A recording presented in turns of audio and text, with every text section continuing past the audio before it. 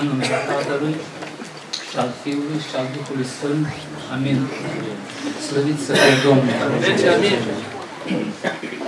Mulțumim din toată inima noastră Domnului și Mântuitorului nostru care ne-a dat și astăzi această putere să venim în mijlocul frăților voastre, să venim în fața lui Dumnezeu și să-i putem mulțumi.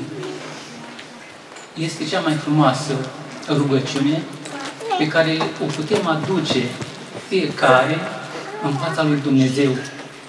Pentru că, așa cum s-a spus, suntem atât de nevrednici și noi care vorbim și frățelor voastre care ascultați.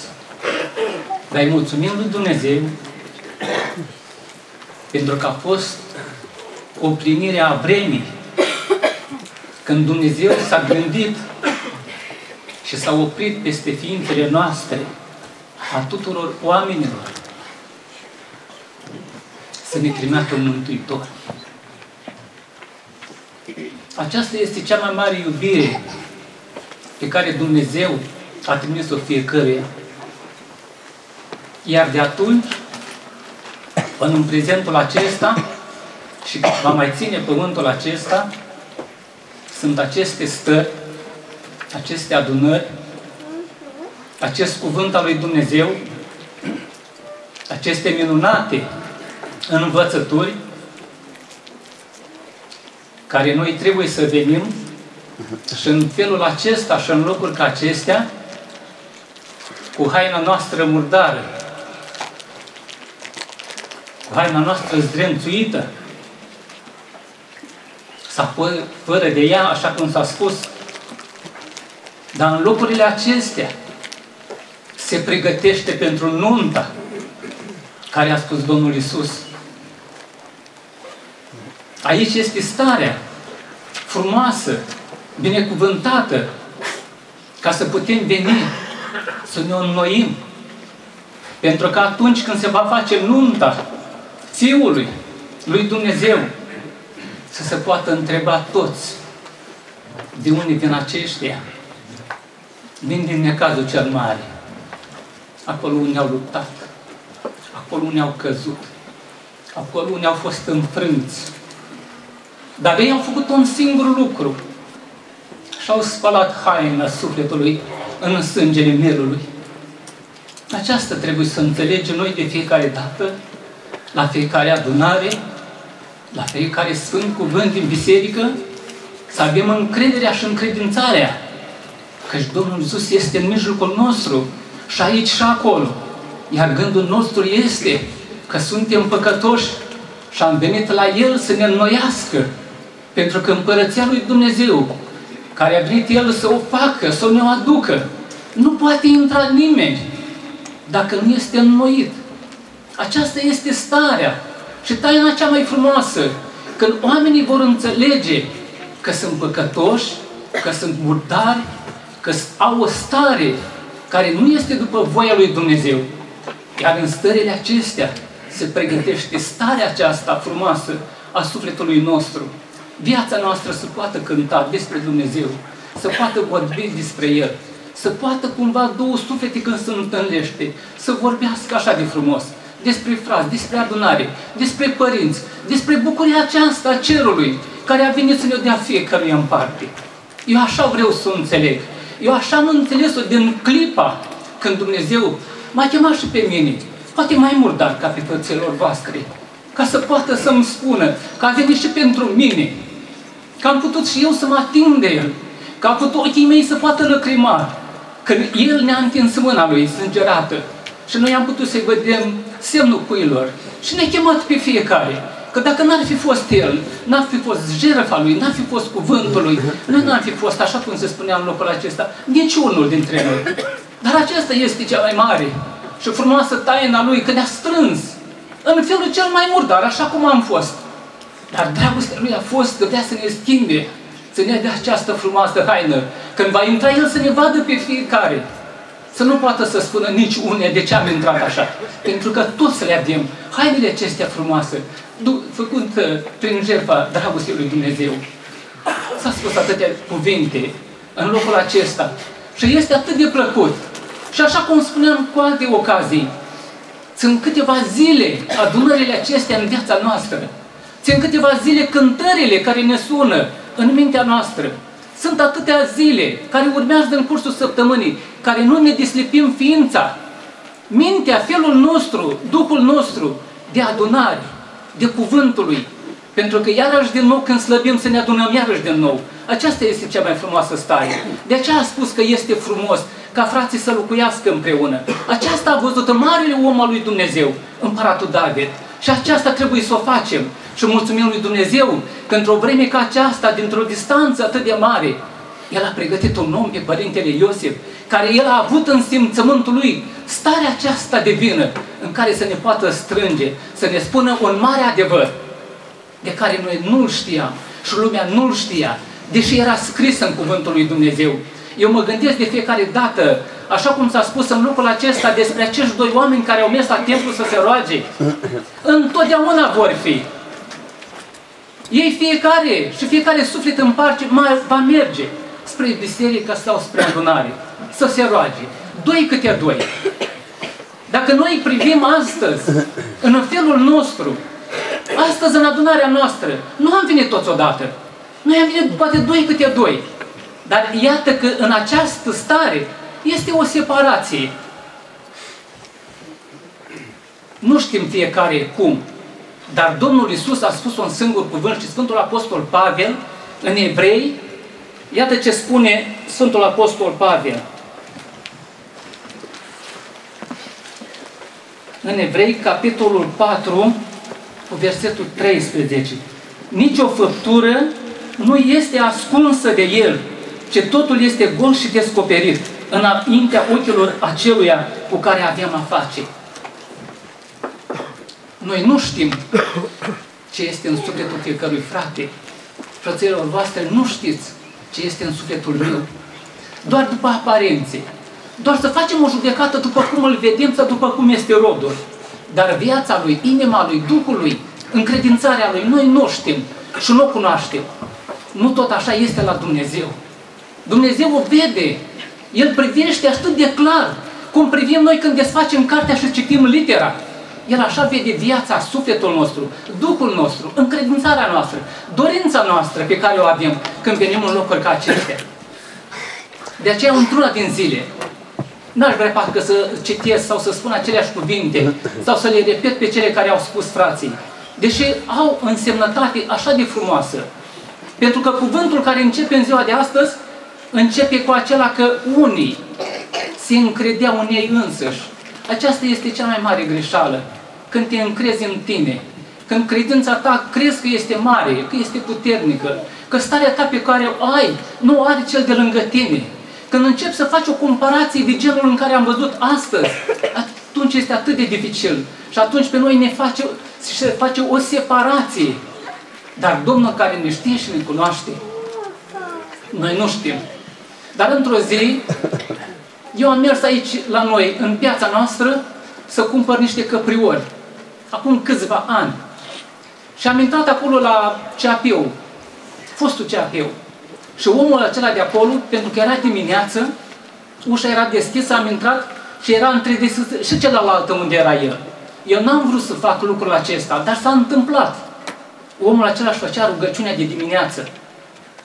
Stătea așa de frumos soarele răsărea și el cu mâinile așa cum erau primii creștini și spunea rugăciunile pe care le spunem noi astăzi în adunarea noastră, începând cu împărate ceresc, terminând cu Tatăl nostru.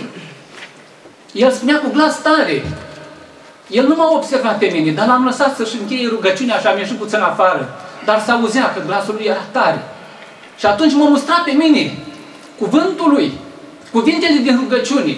Iată, eu sunt un ostaș al Domnului. Eu poate mi-am făcut rugăciunea în fugă. Eu poate că nu m-am trecut repede. Dar omul acesta atât de liniștit stă și își face rugăciunea atât de clar și atât de frumos. Și aceste cuvintele lui și felul lui m-a judecat pe mine. Și atunci să fac și eu tot la fel. Ce lucru frumos ar fi. Numai că aici este toată tăria, toată puterea pe care o primim dacă avem credința puternică în Dumnezeu. Aici lucrarea oasei Domnului a adus cea mai frumoasă stare de la astfel de stări, de la astfel de rugăciuni. Noi să nu mai fim ca cei vechi. Viața noastră să se schimbe. Aceasta este dorința Domnului. După tot ce ascultăm în noi și cântăm și ne rugăm, noi să nu mai fim cei de ieri. Să fie starea noastră una nouă. Una cu care vom intra în împărăția dragostei lui Dumnezeu. Pentru că în împărăția lui Dumnezeu vor intra toate sufletele care se vor schimba, se vor înnoi, vor fi alții și altele. Nu vor mai fi cei de ieri, ci vor fi cei de azi care au ascultat cuvântul lui Dumnezeu. Vor fi cei care au spus astăzi, dacă ascultați glasul lui Dumnezeu, nu vă împetriți, nu vă întoarceți înapoi. Fiți alți oameni. Vedeți așa cum ați ascultat. Căutați să-L imitați și să-L trăiți pe Domnul și Mântuitorul nostru. El este pilda cea mai vie și cea mai frumoasă. De aceea Părintele Iosif a spus de fiecare dată. Aceasta am vrut și eu ca și mai mare, Sfântul Apostol Pavel, să nu știu nimic între voi, decât pe Iisus și pe El răstignit. La El au, au ajuns fiecare, în durerea și în suferința Lui pe care a avut-o, să se atingă de El, să-L simtă pe El, să-i spună Domnului un cuvânt, să se întoarcă la casa Lui altfel. Pentru că fiecare avea o dorință, avea o suferință, avea o lacrimă. Și era singurul salvator în vremea aceea când Domnul Iisus era. Și toți așa au spus, că El vorbește ca unul care are putere. Trăirea și viața Lui era altfel. Deși fariseii vorbeau și păzeau legea lui Dumnezeu, a lui Moise, ei vorbeau altfel și oamenii n-au putut să-L înțeleagă. Dar Dumnezeu, Domnul Iisus, a vorbit altfel. Oamenii alergau de fiecare dată și parcă zic că în lucrarea oastei Domnului, prin Părintele Iosif, a adus felul acesta frumos și minunat. Cu atâtea suflete cât suntem în locul acesta și de fiecare dată câte adunări strinte și scumpe au fost și frații au alergat și pe lângă ei au adus atâtea suflete și fiecare a fost mulțumit și a plecat fericit și a plecat în momentul când inima lui caldă de cuvântul lui Dumnezeu poate a mai dori să mai spună, să mai vină încă o dată, să mai asculte cuvântul lui Dumnezeu. Dar iată, omul acesta, care făcea rugăciunea aceasta așa de frumoasă, care m-a impresionat și m-a judecat pe mine, când a ieșit afară și am spus ce doresc, el și-a scos țigara și a prins-o. Nu venea să cred. Nu știam cum să înțeleg, cum se poate face lucrările acestea. Dar m-am gândit, nu a fost nimeni cine să-i spună, să schimbe viața. Aceasta a fost și este și va rămâne religia creștin-ortodoxă din toate vremurile și în timpurile pe care noi nu putem să observăm. Dar dacă nu se face schimbarea aceasta, noi vom rămâne mereu ca și cei din Vechiul Testament, doar să ținem la ele, doar să le cunoaștem pe ele, dar fără să ne cunoaștem răul din ființa noastră, păcatul care ne despărțe pe noi de Dumnezeu. Aceasta a vrut să ne aducă Domnul Isus și după El mari oameni a Lui. Să ne vedem starea noastră păcătoasă, să ne o cunoaștem, să ne cunoaștem interiorul nostru, Duhul nostru, ființa noastră, să, să putem spune după fiecare cuvânt că mă schimb, nu mai vreau să merg altfel de cum am venit în locul acesta. Să ne fie nouă silă de starea noastră murdară și păcătoasă. Pentru că atunci se va întâmpla toate lucrurile acestea frumoase. Atunci viața noastră va fi altfel. Și dorința noastră în adunare și în cunoașterea și în schimbare va fi altfel. Aceasta este poate că mezul acesta de frumos al nașterii, al schimbării, pe care nu l-au înțeles nimeni și totdeauna se întorc la lucrurile care sunt stătătoare, care poate că spală materia, dar sufletul, viața, inima noastră și mintea noastră să poată să dea la o parte toată zgura care a împietrit-o și a cimentat-o și nu poate decât cuvântul lui Dumnezeu, care tot Sfântul Apostol Pavel îl spune în evrei, cu un verset mai sus, cuvântul lui Dumnezeu care este viu și lucrător, care El poate să despartă. Iată, El poate să facă această despărțire. Și în Evanghelia după Sfântul Ioan a spus, voi nu puteți, numai împreună cu Domnul. De aceea El este primul și fără de El nu se poate. Dacă îl avem pe El, putem să venim să încurjurăm orice, dar numai lângă El. Dar principalul care este, este Domnul Isus. El am vrea să fie viu în viața noastră. Și aș vrea să mai spun ceva, cu toate că poate că de fiecare dată noi ne grăbim. Așa suntem noi. Când cuvântul lui Dumnezeu nu este cel care să ne încălzească, să ne atragă, să ne strângă, să nu mai putem pleca din locul acesta. Noi de fiecare dată căutăm să plecăm la ale noastre. Grijile sunt acele care de fiecare dată pune o barieră între noi și nu ne dă voie ca noi, ființa și inima noastră, să asculte mai mult cuvântul lui Dumnezeu. Mie îmi pare rău de multe ori când învinovățăm frații. Și de asta am spus, noi nu știm ce în inima fiecărui frate. Dar dacă mergi la fiecare frate, să-i asculți gândului, să-i asculți inima lui, să-i asculți sinceritatea cu care se trudește și ar vrea să-L cunoască pe Dumnezeu, este cel mai frumos lucru. Așa cum spunea fratele, fratele Traian, să-ți faci timp să stai și cu un bătrân, și cu un tânăr, și cu o văduvă, să le vezi ce spun ele. Să vezi ele dacă vin în adunarea lui Dumnezeu, ce cunoștință au, ce simțământ au. Și un frate îmi spunea, și iar din nou m-a judecat pe mine că eu nu eram așa. Și m-am minunat și m-am mirat mult că iată în lucrarea oastră Domnului avem frați scumpi, frați credincioși, care nu vin ca mine în locul acesta să spună, dar în starea în care stau pe bancă, sunt mai buni, sunt mai înălțători, sunt mai smeriți și aceștia fac de fiecare dată ca lucrarea lui Dumnezeu poate să fie o stare minunată și binecuvântată și să poată, prin tot ce auzim noi, ca cuvântul care pătrunde din inima noastră, să ne lăcrămeze ființa noastră. Ca fiecare poate să avem un început bun în anul acesta în care am intrat și iată, se derulează de fiecare dată zilele. Fratele acesta mi-a povestit și este așa de frumos și eu tot așa am înțeles că într-o zi era singur acasă. Nu erau copiii cu el și nu era nici soția. Și atunci am spus, dacă sunt singur acasă, să mă pot ruga altele lui Dumnezeu. Așa spune cuvântul lui Dumnezeu și aș vrea și acest verset să-l citim în Sfântul Matei, capitolul 6, cu versetul 6.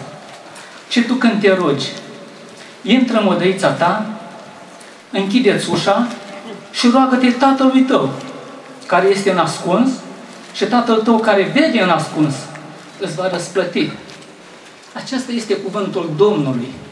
Acesta trebuie să pătrundă în viața noastră. Noi să nu ne asemănăm cu cele două pe care Domnul le-a făcut astăzi. Pentru că a dat acolo o pildă numai cum sunt oamenii, pe care numai cei de jos îi știau și îi cunoșteau și puteau să-i judece. Domnul ne-a dat doar o pildă, să nu fim ca ei. Ci iată, când te rogi, când vrei să te rogi, când vrei un lucru, o lucrare din partea lui Dumnezeu, închideți ușa în cămăruța ta și cu glas tare să-i spui. Este cel mai important când suntem singuri, când nu este nimeni să ne asculte și când din îndemnul ființei tale poți să-i răspunzi Domnului cu glas tare. Orice cuvânt pe care noi îl rostim, chiar cuvântul pe care îl spunem din locul acesta, este de fiecare dată o îndreptare a mea. Nu aș vrea niciodată să spun că aș fi un învățător sau un predicator. Nu este o rugăciune pe care o spun cu glas tare, să intre întâi în ființa mea, să mă pot eu reculege, să pot eu să mă înnoiesc. Și aceasta să faceți și frăților voastre. Aceasta este Duhul cel mai frumos pe care eu l-am înțeles în lucrarea voastră Domnului. Să ne transformăm și noi. Noi nu să fim ca farisei care învățau și păzeau. Și ei nu erau așa. Nu, noi am vrea să fim din aceia care să putem cumva să ne schimbăm noi întâi. După aceea să putem cere altora. Și fratele acesta și-a închis casa lui. Și-a închis camera lui. Și a vrut să-L roage pe Domnul. O lucrare pe care o avea. O stare pe care o avea în familia lui. Avea un băiat și își dorea și el ca la anii pe care îi avea să poată să găsească o soră pentru căsătorie. Sunt lucruri de acestea, fraților, care știu trebuie să le facem, să le înțelegem. Dar nu e totul atât cât am spus până aici. Și s-a rugat Domnului să-i găsească o soră, tot credincioasă, tot de oastea Domnului, tot care îl cunoaște pe Domnul, tot ca una care este ca și în familia lui să se poată înțelege. Aceasta era dorința lui în rugăciune. Au trecut orele. Rugăciunea s-a terminat. Dar mai târziu a venit soția lui, după 4-5 ore de unde era plecată, Și cumva fericită, bucuroasă în suflet și în viața ei, că a găsit cumva o soră pentru băiatul lor. Și spune, fericită, așa cum sunt surorile noastre, mamele noastre, copiii noștri, bucuroși, se vede pe fața lor starea aceasta de bucurie. Și a spus, am găsit pentru fiul nostru, am găsit o fată frumoasă, credincioasă, dar este de la oastea Domnului? Nu este de la oastea Domnului. Fratele a spus așa, nu asta am cerut eu Domnului. Dacă nu asta am cerut Domnului, înseamnă că nu este a noastră. Acestea au fost cuvintele care pe mine m-a trezit. Acestea au fost cuvintele care eu atunci m-am judecat pe mine. Iată, eu sunt unul care mă vedeți aici, dar nu sunt ca el. El nu s-a bucurat că a găsit. El s-a întristat că nu era aceea pe care a cerut-o el Domnului. Și a spus soția, așa a spus soțiile, numai tu ești așa. Numai voi de la oastea Domnului v-a intrat în minte și în cap să fie așa. Nu, eu așa am cerut Domnului, eu așa doresc. Și a mai trecut câteva săptămâni și spune că n-a fost treaba. Și atunci a zis, ai avut dreptate. Iată de ce trebuie noi să ne rugăm Domnului și să așteptăm cu răbdare din mâna lui Dumnezeu să ne le ia pe toate, pentru că El a spus că dacă aveți credință, se vor împlini. Aceasta este, nu forțarea, nu starea, nu duhurile care aduc astfel de situații, ci să rămânem încredințați la ceea ce am cerut noi și nu să nu ne bucurăm de fiecare stare care apare. Iată ce rugăciune am învățat noi astăzi în locul acesta despre cei doi oameni. Este atât de posibil, așa cum am auzit și în locul acesta. Și eu de multe ori când m-am gândit la această frumoasă Evanghelie, am spus odată cum am citit în alte cărți, să facem o răsturnare de situație între fariseu și între vameș. Oare vameșul acesta care spune Domnul, nu că s-a pocăit, este încă o pildă, s-a întors acasă mai sănătos. Dacă are pași spre Dumnezeu, dacă are, are încredințarea că are nevoie de Domnul și de împărăție și crede, va face și următorii pași. Aceasta a fost numai o pildă și s-a oprit. De multe noi, ori noi trecem peste starea aceasta. Și aceasta am văzut-o pentru că noi care am fost vameși, care am fost trăi, care am fost nespălați, care am venit la Domnul și când Domnul ne-a curățit, am privit și am făcut noi vis-a-vis de ceilalți frați, de celelalte surori, o stare de comparație, cum a făcut-o fariseul și vameșul. Și atunci lucrurile de acasă s-au întors invers. Noi vameșii care am fost, am ajuns farisei, iar poate fariseul, care s-a tot vorbit de rău de el, poate s-a pocăit. Slăvit să fie Domnul. Cântăm de la